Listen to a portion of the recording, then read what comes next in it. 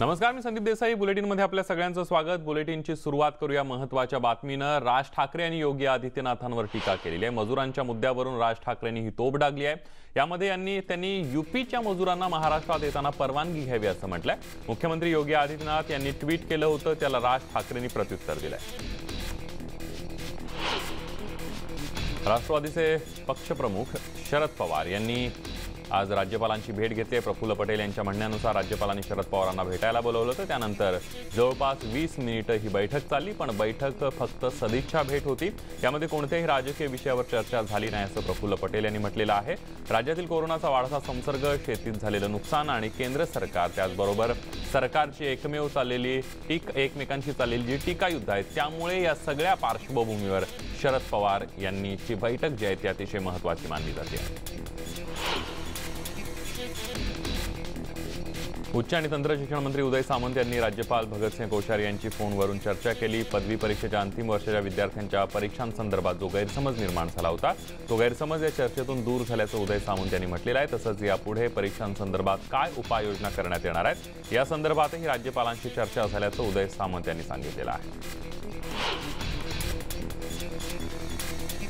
राज्याचे सार्वजनिक बांधकाम मंत्री अशोक चव्हाण यांना देखील कोरोनाची बाधा झाली आहे. विधान परिषद निवडणुकीच्या वेळी अशोक चव्हाण मुंबईला गेले होते. सात दिवसांपूर्वी ते नांदेडला आले. नांदेडला आल्यापासून त्यांनी स्वतःला घरी क्वारंटाईन केलं होतं. काल अस्वस्थ वाटत असताना त्यांनी खासगी रुग्णालयामध्ये तपासणी केली. त्यांचे स्वॅब देखील घेण्यात आले होते. राष्ट्रवादी काँग्रेसचे अध्यक्ष शरद पवार राजभवनावर गेले होते. राज्यपालांनी त्यांना भेटीचं निमंत्रण धाडलं होतं. त्यामुळे ते राजभवनावर जाऊन भगतसिंह कोश्यारी यांची त्यांनी भेट घेतली. देशात सलग चौथ्या दिवशी रुग्णांची सर्वाधिक वाढ झाल्याचं समोर येत आहे कोरोनाग्रस्तांची संख्या एक लाख अडतीस हजार आठशे पंचेचाळीसवर गेली आहे. देशामध्ये गेल्या चोवीस तासांमध्ये सहा हजार नऊशे सत्याहत्तर नवे रुग्ण आढळलेले आहेत. एकशे चोपन्न जणांचा गेल्या चोवीस तासांमध्ये मृत्यू झालेला आहे. देशात आतापर्यंत सत्तावन्न हजार सातशे एकवीस कोरोनामुक्त झालेले आहेत.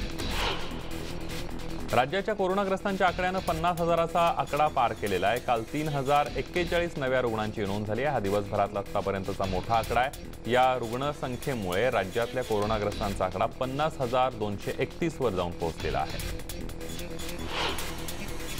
मुंबईत सर्वाधिक रुग्णसंख्या आहे आणि राज्यामध्ये पन्नास हजार कोरोनाग्रस्त आहेत तर एकट्या मुंबईमध्ये तीस हजार तीनशे एकोणसाठ कोरोनाग्रस्तांची नोंद झाली आहे. हा आकडा मुंबईकरांसाठी धोकादायक आहे. मुंबई आता आतापर्यंत कोरोनामुळे मृत्यूंची संख्या तब्बल नऊशे अठ्ठ्याऐंशीवर पोहोचलेली आहे.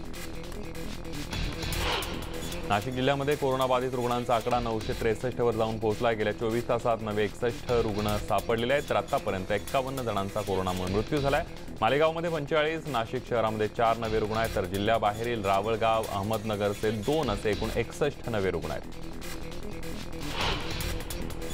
नाशिक शहरामध्ये कोरोनाचा पाचवा बळी गेलेला आहे. शहरातल्या पंचवटी भागामध्ये एका कोरोनाबाधित वृद्धाचा मृत्यू झालाय. त्यामुळे हा परिसर महापालिकेनं सील केलेला आहे. नाशिक जिल्ह्यामध्ये कोरोनामुळे आतापर्यंत बावन्न बळी गेले तर नाशिक शहरामध्ये कोरोनाचे नवे दोन रुग्ण आढळलेले आहेत. ते दोघेही प्रतापनगर भागातले रहिवासी आहेत. हा परिसर पालिकेनं सील केला नागपुरात सहा कोरोना पॉझिटिव्ह रुग्णांची नोंद झाली यामध्ये एका महिला डॉक्टरचा समावेश आहे. त्यामुळे आता नागपुरातला कोरोना पॉझिटिव्ह रुग्णांची संख्या चारशे तेवीसवर पोहोचलेली आहे. तर आतापर्यंत तीनशे सतरा रुग्णांनी कोरोनावर मात केली आहे. नागपूरमध्ये कोरोनाचे रुग्ण आढळल्यानं नागपूर जिल्ह्यातील दहेगावचा परिसर रेड झोनमध्ये टाकण्यात आलेला आहे तसंच तो परिसर सील करण्यात आलेला आहे. रुग्णांच्या संपर्कातील जवळपास बावीस जणांना क्वारंटाईन करण्यात आलंय.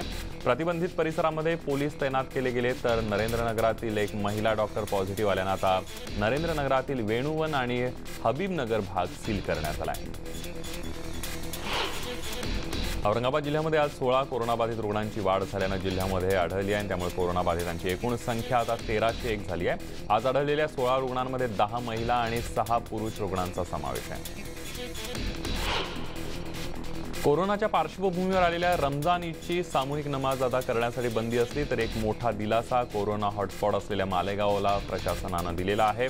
आजपासून तीस ते चाळीस टक्के पॉवरलूम्स इंडस्ट्री सुरू करण्याचा निर्णय घेण्यात आलेला आहे. याचा फायदा जवळपास एक लाख पॉवरलूम इंडस्ट्रीला होणार आहे. नाशिक जिल्ह्यातील मालेगावात जवळपास साडेतीन लाख पॉवरलूम इंडस्ट्रीत काम होत आहे. पुण्यामध्ये गेल्या चोवीस तासात एकशे एकोणऐंशी नवे रुग्ण मिळालेले आहेत. तर सात रुग्णांचा दिवसभरामध्ये मृत्यू झाला आहे त्यामुळे पुण्यात कोरोनामुक्तांची संख्या दोन हजार पाचशे पन्नासवर जाऊन पोहोचली आहे. चोवीस तासामध्ये सत्याहत्तर रुग्णांना डिस्चार्ज देण्यात आला आहे. पुण्यातील ट्रॅफिक सिग्नल सुरू झालेले आहेत. तब्बल पासष्ट दिवसानंतर पुण्यातील सिग्नल सुरू झालेले आहेत. प्रतिबंधित झोन वगळता नव्वद टक्के पुणे शहर पूर्ण पदावर येताना दिसत आहे बहुतांश चौकातील सिग्नलही सुरू झाले आहेत पण कोरोनाच्या भीतीनं सावध जे आहे ते ट्रॅफिक पोलिसांमध्ये असल्याचं सुद्धा पाहायला मिळत आहे पुण्यातील सिद्धार्थनगर भागातल्या दीड वर्षांच्या मुलासह नऊ जणांनी कोरोनावर यशस्वी मात केली आहे. हे नऊ जण कोरोनाग्रस्त झाल्याचं समोर आल्यानंतर त्यांना क्वारंटाईन करण्यात आलं होतं. त्यांच्यासह त्यासाठी राहणाऱ्या शंभर जणांना सुद्धा क्वारंटाईन करण्यात आलं होतं. दरम्यान आता कोरोनाबाधित नऊ जणांना यशस्वी रीतीनं मात केल्यानंतर त्यांचे नागरिकांनी जोरदार स्वागत केलं. भिवंडीमध्ये कोरोना रुग्णांची संख्या दिवसेंदिवस वाढत असताना शहरामध्ये पाच नवे रुग्ण आढळले तर एका रुग्णाचा मृत्यू झाला असून ग्रामीण भागात देखील एक नवा रुग्ण आढळलाय. या सहा नव्या रुग्णांमुळे भिवंडीतील कोरोनाबाधित रुग्णांचा आकडा ऐंशीवर पोहोचला आहे. तर आतापर्यंत तीन जणांचा मृत्यू झालाय गोव्यामध्ये कोरोनाचे अकरा नवे रुग्ण आढळले आहेत. त्यामुळे गोव्यातील कोरोना रुग्णांची संख्या सहासष्टवर पोहोचली आहे. तर आज गोव्यामध्ये विविध मार्गानं चार हजार प्रवासी दाखल होणार आहेत. त्यांना क्वारंटाईन केलं जाणार आहे पण तरीही प्रशासनाकडून चिंता व्यक्त केली जाते. आहे कोरोना व्हायरसमुळे जो लॉकडाऊन पुकारण्यात आला त्याचा मोठा फटका कोल्हापुरी चप्पल व्यवसायाला बसला अंबाबाई मंदिर ज्योतिबा मंदिर बंद असल्यामुळे कोल्हापूरमध्ये पर्यटक येऊ शकले नाही त्यातच लग्नाचा सीझन असून सुद्धा लग्न न झाल्यानं चप्पल व्यावसायिक आर्थिक संकटात आहे उल्हासनगरच्या गजानन मार्केट या मुख्य बाजारपेठेतील अनेक दुकानांमध्ये छुप्या पद्धतीनं व्यवहार सुरू असल्याचं पाहायला मिळत आहे सणवाराचं औचित्य साधून कपडे चप्पल बूट कॉस्मेटिकची दुकानं घड्याळाची दुकानं हॉटेल पाणीपुरीची दुकानं अशी अनेक दुकानं शटर बंद करून सुरू झालेली आहेत. दुकानाचं शटर उघडून ग्राहकाला आत सोडून पुन्हा शटर बंद करून हा खरेदी विक्रीचा व्यवहार राजरोसपणे सुरू आहे. उल्हासनगरमधील गुरुनानक शाळेजवळ असलेल्या एका मेडिकल दुकानात पहाटेच्या सुमारास शटर उचकटून चोरी केल्याची घटना समोर आली. ही संपूर्ण घटना सीसीटीव्हीत कैद झाली आहे. कांचन मेडिकल स्टोअर्स असं या मेडिकलचं नाव असून दोन अज्ञात चोरट्यांनी दुकानाचं शटर उचकटून आत प्रवेश केला. स्टोअर्समधील असलेली पंधरा हजारांची रोकड लंपास केली आहे. योगी आदित्यनाथ यांना धमकी प्रकरणी नाशिकमध्ये एकाला अटक करण्यात आली आहे. मुंबईत अटक केलेल्या आरोपीच्या सुटकेसाठी धमकावलं जात असल्याची माहिती मिळते आहे उत्तर प्रदेश पोलिसांना सोशल मीडियावरून धमकावलं जात आहे. एटीएस पथकाकडून नाशिकमध्ये या आरोपीला अटक करण्यात आली आहे. नाशिकच्या भद्रकाली भागातला हा वीस वर्षांचा युवक आहे. श्रमिकांच्या ट्रेनवरून केंद्र सरकार आणि राज्य सरकार आमने सामने आलेले आहेत. मुख्यमंत्री उद्धव ठाकरे यांनी श्रमिक ट्रेनबद्दल केलेल्या वक्तव्याला रेल्वेमंत्री पियुष गोयल यांनी जोरदार उत्तर दिलं आहे महाराष्ट्रासाठी एकशे पंचवीस ट्रेन द्यायची तयारी पियुष गोयल यांनी दाखवली आहे. ट्रेन कुठून सोडायच्या प्रवाशांची यादी त्यांचं मेडिकल सर्टिफिकेट आणि ट्रेन कुठे जाणार हा सर्व तपशील तासाभरात द्या अशी मागणी गोयल यांनी केली. ट्रेन स्टेशनवर आल्यानंतर मोकळी जायला नको असा टोलाही गोयल यांनी लगावलेला आहे. दरम्यान घाम गाळून महाराष्ट्र उभा करणाऱ्या मजुरांना शिवसेना काँग्रेस सरकारने फसवलंय. लॉकडाऊन काळात मजुरांना त्यांच्या घरी जाण्यासाठी भाग पाडण्यात आलं. यासाठी उद्धव ठाकरेंना कधीही माफ केलं जाणार नाही अशा आशयाचं ट्विट योगी आदित्यनाथ यांनी केलेलं आहे. आजपासून देशांतर्गत विमानसेवा सुरू करण्यात आली आहे. मुंबई विभाग विमानतळावरून पाटणासाठी पहिलं विमान सकाळी सहा वाजून पंचेचाळीस मिनिटांनी रवाना झालं तर लखनौवरून सकाळी आठ वाजून वीस मिनिटांनी पहिलं विमान मुंबईमध्ये दाखल झालंय विमानतळावर नागरिकांनी गर्दी केली असून सोशल डिस्टन्सिंगचं पालन केलं जात आहे तसंच विमानतळ प्रशासनाकडून संपूर्ण काळजी घेतली जाते. मात्र काही फ्लाईट्स रद्द झाल्यामुळे नागरिकांना आणि प्रवाशांना त्रास सहन करावा लागतोय. मुंबई इंटरनॅशनल एअरपोर्टच्या टर्मिनल म्हण दोन म्हणजेच टी टूवरून आज फ्लाईट उड्डाण करतील आणि लँड होतील. चौदा वर्षांवरील सगळ्या प्रवाशांना आरोग्य सेतू ॲप बंधनकारक असणार आहे. ऐंशी वर्षांवरील आणि गरोदर महिलांना प्रवास प्रतिबंधित करण्यात आलेला आहे. तर मुंबईत येणाऱ्या प्रत्येक प्रवाशांना घरी चौदा दिवसांचं विलगीकरण बंधनकारक आहे. हैदराबाद शिर्डी विमान अखेर रद्द करण्यात आलेलं आहे. बुकिंग पूर्ण न झाल्यानं हे विमान रद्द करण्यात आल्याची माहिती आहे हैदराबादहून शिर्डीला आज पहिलं विमान येणार होतं. या सत्तर आसनी विमानामध्ये केवळ एकोणतीस प्रवाशांचीच बुकिंग केली जात होतं आणि त्यामध्ये अहमदनगर नाशिक औरंगाबाद जिल्ह्यातील प्रवासी होते. यासाठी विमानतळ प्राधिकरणानं पूर्ण मात्र बुकिंग न झाल्यानं विमान रद्द करत असल्याची माहिती दिली आहे. लॉकडाऊनमुळे परदेशामध्ये अडकून पडलेल्या भारतीयांना मायभूमीत दाखल व्हायचं असेल तर दाखल होतात. सात दिवस स्वखर्चानं सरकारी विलगीकरण केंद्रामध्ये आणि सात दिवस घरात विलगीकरणामध्ये राहावं लागणार असून त्याला आपली तयारी आहे असं संबंधित प्रवाशांना परदेशात विमानात बसण्यापूर्वीच लिहून द्यावं लागणार आहे. चेन्नईमध्ये विमानतळावरील उड्डाणं सुरू झालेली आहेत. तामिळनाडू सरकारनं रोज फक्त पंचवीस उड्डाणांची परवानगी दिली आहे. प्रवासी मास्क ग्लोव्ज घालून तसंच सुरक्षित अंतराची मर्यादा पाळताना दिसले. प्रत्येक प्रवाशाचं स्क्रीनिंग केलं जात होतं. टर्मिनलमध्ये सॅनिटायझेशन करण्यात येत आहे. चेन्नईमध्ये देशाच्या इतर भागांमधून येणारी सोळा विमानं आहेत. तर चेन्नईहून दिल्ली कोईमतूर अंदमान आणि मुंबईसाठी विमानं सोडण्यात आली आहेत. कोरोनाच्या वाढत्या रुग्णसंख्येला आळा घालण्यासाठी महाराष्ट्र सरकारनं आता केरळकडे मदत मागितली आहे. कोरोना रुग्णांवरील उपचारासाठी केरळमधून पन्नास प्रशिक्षित डॉक्टर्स आणि शंभर नर्सेसची मागणी राज्य सरकारनं केली आहे. याबाबत बीएमसीनं केरळ राज्य सरकारला रविवारी एक पत्र लिहिलेलं आहे. महालक्ष्मी इथं उभारण्यात आलेल्या तात्पुरत्या कोविड रुग्णालयासाठी ही मागणी करण्यात आली आहे. मात्र राज्य सरकारकडे पुरेसे आरोग्य कर्मचारी आहेत पण केरळनं मदत देऊ केली आहे. त्यामुळेच आपण ती घेतली असं बीएमसीनं स्पष्ट केलं आहे भारतात कोविड नाईन्टीन विषाणूने धुमाकूळ घातला आहे त्यामुळे नियमित आरोग्य व्यवस्थेचे तीन तेरा वाजलेले असून जास्तीत जास्त शक्ती कोरोनाचा प्रादुर्भाव रोखण्यासाठी खर्ची घालावी लागते आहे. या सर्व गदारोळामध्ये मुलांच्या नियमित लसीकरणामध्ये खंड पडला आहे परिणामी काही लस जे आहे ते प्रतिबंधात्मक आजार बळावून मुलांचं आरोग्य धोक्यात येईल अशी भीती व्यक्त करण्यात येते आहे.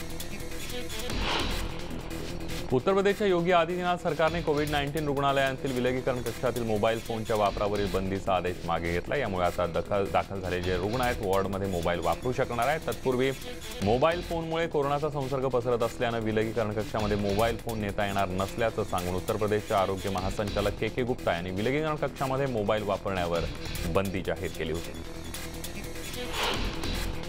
लडाखमध्ये परिस्थिती दिवसेंदिवस खराब होत चालली आहे. नियंत्रण रेषेजवळ भारतीय आणि चिनी सैन्यांमध्ये मोठ्या प्रमाणावर तणाव आहे.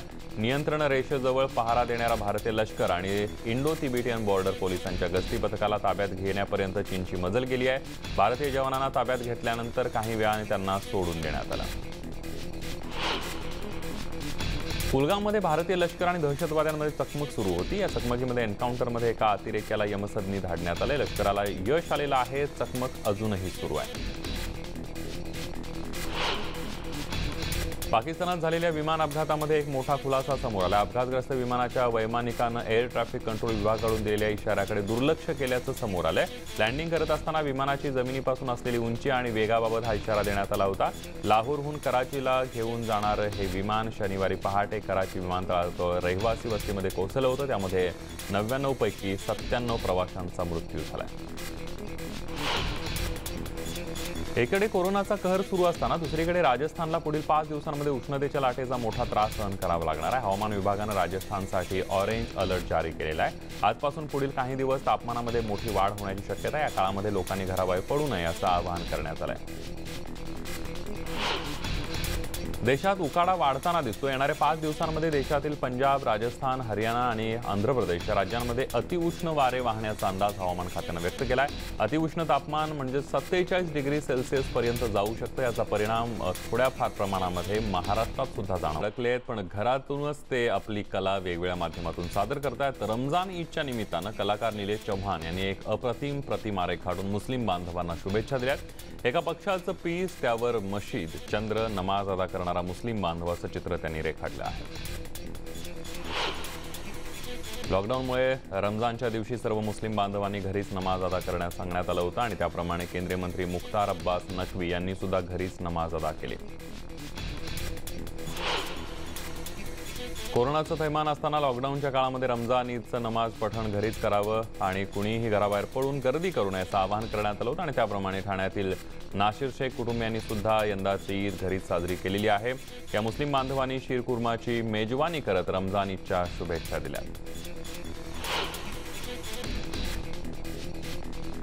कोरोनाच्या पार्श्वभूमीवर घेण्यात आलेल्या लॉकडाऊनच्या काळामध्ये रमजान ईदचं नमाज पठण घरीच करावं कुणी घराबाहेर पडू नये असं आवाहन करण्यात आलं होतं. त्याप्रमाणे मनमाड मालेगाव येवला चांदवड सटाणा या भागातील मुस्लिम बांधवांनी ईदगाह मैदानावर न जाता घराच्या घरामध्येच साध्या पद्धतीनं ईद साजरी केलेली पाहायला मिळाली. देशभरात आज ईद उल फित्र साजरी केली जाते. आहे कोरोनाच्या पार्श्वभूमीवर मुस्लिम बांधवांनी आज घरातच ईदची नमाज अदा केली. तर घरीच एरवी ईदला गर्दी असणाऱ्या नवी दिल्लीतल्या जामा मशिदीच्या आवारामध्ये सुद्धा लॉकडाऊनमुळे आज शुकशुकाट पाहायला मिळाला. नवी दिल्लीमध्ये यंदा रमजान ईदला हवा तसा उत्साह नाही आहे कारण कोरोनाचं संकट आहे त्यामुळे घराबाहेर पडता येणार नाही आहे एरवी लजपत नगरच्या बाजारपेठेत प्रचंड गर्दी असते पण यंदा मात्र या व्यावसायिकांना पोट भरणंही अवघड झालं अमृतसरमध्ये रमजान ईद साजरी करण्यात आली पण नियम न मोडता सगळ्या मुस्लिम बांधवांनी घरीच नमाज पठण केलं. लॉकडाऊनमुळे बाहेर न पडण्याचं आवाहन करण्यात आलं असल्यानं मुस्लिम बांधवांनी आपल्या घरच्या घरीच आणि इमारतींच्या गच्चीवर जाऊन सोशल डिस्टन्सिंग पाळून नमाज अदा केली. मशिदींमध्ये रमजानच्या निमित्तानं सॅनिटायझेशन करण्यात आलं. कोरोनाचा प्रसार रोखण्यासाठी आणि रमजानच्या दिवशी आलेल्यांना कोणतीही बाधा होऊ नये याची खबरदारी घेतली गेली आहे. टीम इंडियाचा सलामीवीर रोहित शर्मा ही या काळामध्ये आपल्या दुखापतीमधून सावरलाय. नवीन वर्षामध्ये न्यूझीलंड दौऱ्यात अखेरचा टी ट्वेंटी सामना खेळताना रोहित शर्माच्या पायाला दुखापत झाली होती. यावेळेला सरावाला सुरुवात करण्याआधी रोहित शर्माला सर्वात आधी आपली फिटनेस टेस्ट द्यावी लागणार आहे. हॉलिवूड पॉपस्टार लेडी गागा आणि अरियाना या दोघींनी एक नवं गाणं नुकतंच प्रदर्शित केलेलं आहे. रेन ऑन मी असं या गाण्याचं नाव असून लेडी गागा आणि अरियाना पावसामध्ये डान्स करताना यामध्ये दिसत आहेत दिल में बजी गिटार हे अभिनेता रितेश देशमुखचं अपना सपना मनी मनी चित्रपटातील लोकप्रिय गाणं तुमच्या नक्की तुम्हाला नक्की आठवलं असेल. सध्या रितेश देशमुख अनेक टिकटॉक व्हिडिओ भेटीला आणतोय आणि या लोकप्रिय गाण्यावर रितेश देशमुखनं पुन्हा डान्स केलाय. पण यावेळेला त्याने त्यामध्ये काही तांत्रिक करामती सुद्धा करून दाखवलेल्या आहेत.